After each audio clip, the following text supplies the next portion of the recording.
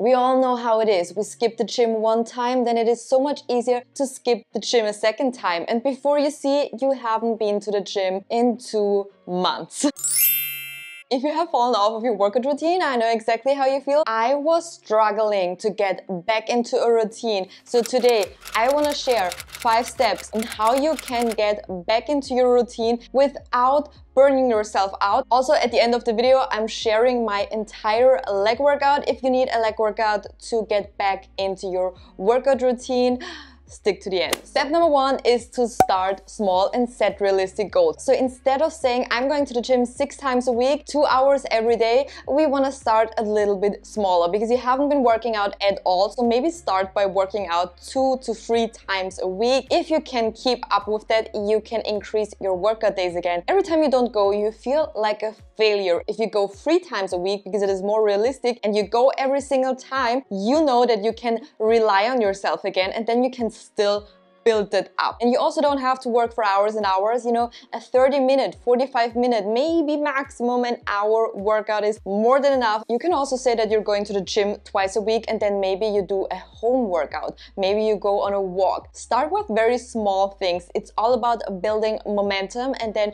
once you're going, you will see it will get better and better and better. Super important is to find a reason why you want to work out again. On the days where you don't want to go, where you're like, why why even bother? You have this reason. When I was sitting myself down and was like, why do I even want to go to the gym? I found my reason again why I even started my gym journey back in the day. And then it was so much easier for me to work out again. I want to get fit, I want to get stronger, I want to look good, but I also want to feel good. The gym helps me so much with my mental health and also with overcoming things and being stronger physically, but also mentally. Maybe I also missed wearing cute gym outfits. Step number two is to find workouts that you enjoy. If you dread your workouts, you will find it so much harder to go to the gym or you don't even have to go to the gym. Maybe try something else. Maybe you want to go running. Maybe you want to do yoga. Maybe you want to do Pilates. I made the mistake that I wanted to copy other people's workouts because I was like, oh my gosh, she looks amazing. I have to do the exact workout that she is doing. The training style was way too intense for me. I didn't enjoy it. So now I do less exercises and I also do the exercises that I want to do. I mean, there's always this balance of wanting and, you know, some exercises like hip thrusts. I don't want to do hip thrusts, but I do them because I want to grow my booty. You know, I want to have nice glutes. At the moment, I'm not about that whole thing about going to failure. I train hard, but I train in a way where I don't feel super exhausted after my workout, you know? Step number three is to create a schedule and then stick to it. You have to pick specific days and specific times where you want to work out. Put it in your calendar and then treat them like appointments, like you would treat a doctor's appointment, like you would treat going to school, going to work. Make it an absolute priority to go to the gym. Also find a time that works for you when you go to the gym. Maybe you want to go first thing in the morning because you have more energy throughout the day or you want to go in the afternoon because you do not want to wake up early. If I go first thing in the morning, I have my gym clothes laying out and ready to grab. I'm not gonna spend time in the morning to pick out my gym clothes. You can also take your gym clothes to work or to school that right after work or school, you are going to the gym. You don't go home and then think about if you want to go to the gym, you are going. I am so guilty of this. I'm like, okay, am I going to the gym today? I mean, I wanted to go to the gym today, but am I actually going to the gym today? I have other things that I want to do today why why spend so much time thinking about it just go okay today is monday we have a leg day we're going to the gym i have my workout clothes ready my gym bag is packed there's no need to think about it for half an hour step number four is to focus on progress not perfection. I know it is so easy to compare yourself to where you were before you took a break from the gym. You have to let that go. It doesn't matter how much weight you lifted before. It's not it's not about that, okay? It's about moving our body, doing something good for yourself. Focus on your form, don't do any ego lifting. Listen to your body, be gentle to yourself. You're making progress, okay? You're going to the gym again. Celebrate your small wins. Maybe you can lift a little bit heavier, maybe you can do an extra rep, maybe you can and be on the treadmill for a little bit longer and celebrate every time you go to the gym. Going to the gym is absolutely amazing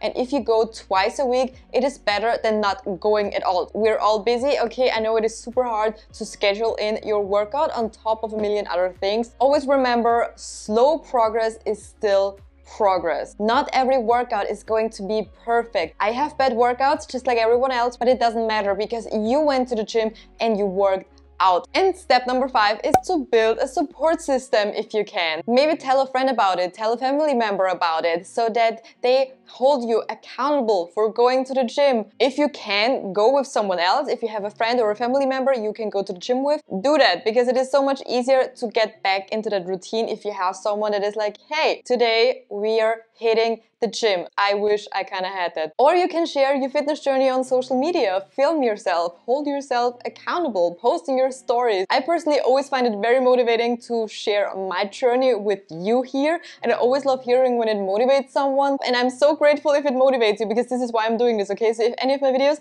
ever motivated you to work out, I'm happy. If you follow these five steps, you will ease back into your workout routine and before you even notice, you will back into the routine that you had before. I also think there's a beautiful thing about falling off your routine because you're more grateful for working out again because I personally missed the gym a lot when I didn't go and it, it's more exciting again if you haven't been going for a while. I believe in you. This is your sign to get back into your workout routine if you have watched it that far. Give yourself time and don't be hard on yourself okay? I know I'm someone who's very hard on myself, but I need to learn to be kind. And you also need to be kind to yourself and celebrate every time you can make it to the gym. Don't be hard on yourself if you fall off. It is okay, it is okay, we all fall off. The most important thing is that you're getting back again, that you're going to the gym again and not fall off, don't go ever again and be like, oh my gosh, I'm such a loser. I haven't been to the gym this week. No, no, no, no, no. We, we forget about what was okay. We just we just start going again. We just keep going and keep going. We're starting the workout off today with Smith Machine elevated squats.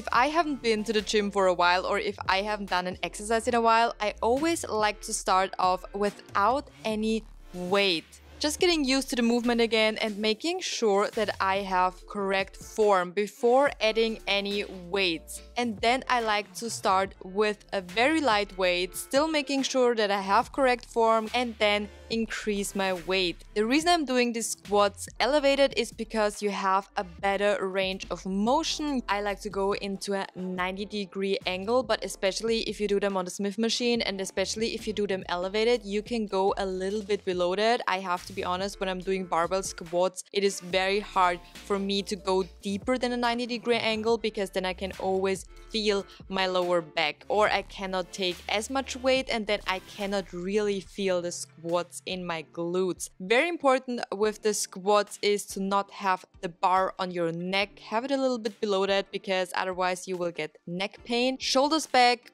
core engaged. You can hold the movement here for a second to make it even harder. Pressing back up with your heels. There's no need to squeeze your glutes at the top of the movement. The important part of squats is when you're going down into the squat. And we're doing three sets of 10 reps.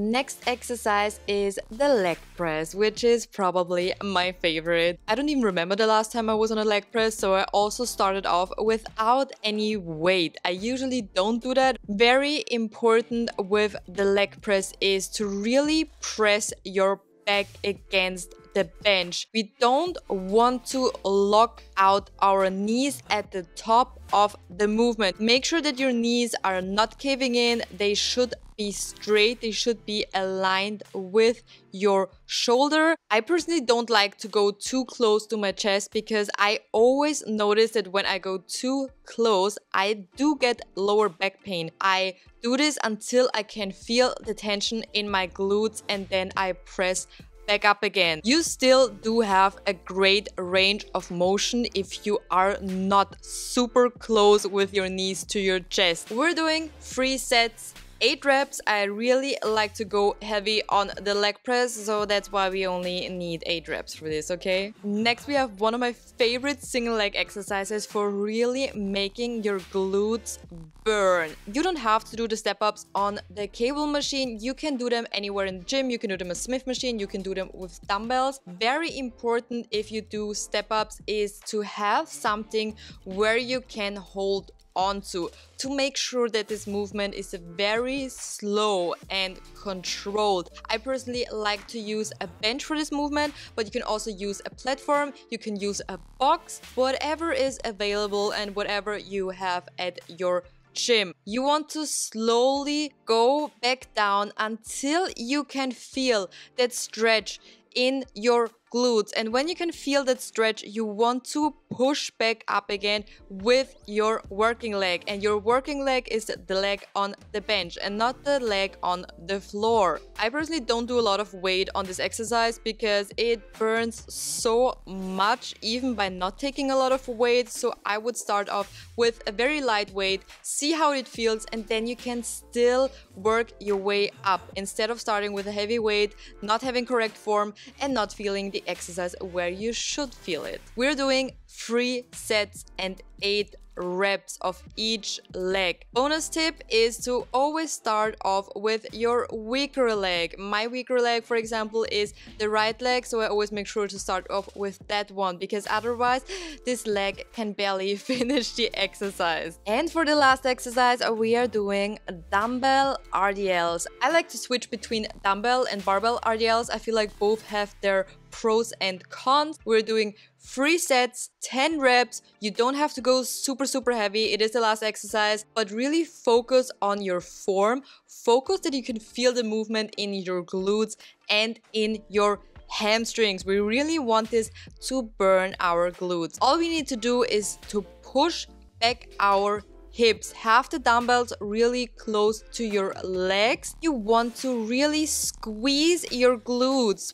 push through your heels when going back up again. And at the top of the movement, there is no need to squeeze your glutes either. You want to keep that constant tension. Also very slow and controlled movement, making sure that your core is engaged. If you can feel your lower back on this exercise, don't go too low because then your back is taking over and not your glutes and your hamstrings are working. Only go as far as you can feel that stretch and then push back up again. This is also going to be different for everyone. So this is why you shouldn't be looking at someone else, how deep they are going. Only focus on when can you feel the stretch If you found this video helpful, please thumbs up and subscribe to my channel if you want to see more workout and fitness videos and share it with someone who also needs to find their way back into a workout routine. Leave me a comment, what is your biggest struggle or what is your biggest tip to get back into a workout routine? I would love to read that. And other than that, thank you so much for watching and I hope to see you in my next video. Bye!